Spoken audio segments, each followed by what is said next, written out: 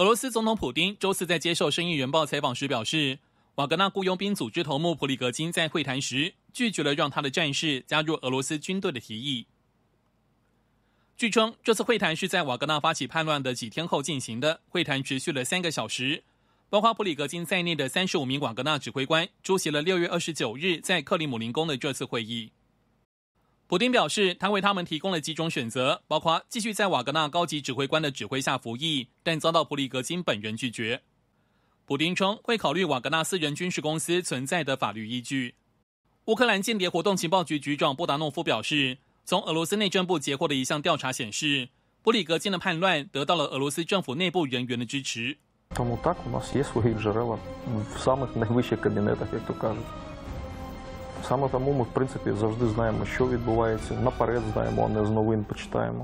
周四，乌克兰陆军司令塔纳夫斯基告诉 CNN，已收到美国承诺的第一批集束弹药。尽管在周四的立陶宛北约峰会上，乌克兰没有获得加入北约的明确时间表，但美国总统拜登指出，莫斯科当局资源短缺，并且陷入经济困境，普京不可能赢得这场战争。乌克兰加入北约只是时间问题。新唐电视台记者于良、明玉综合报道。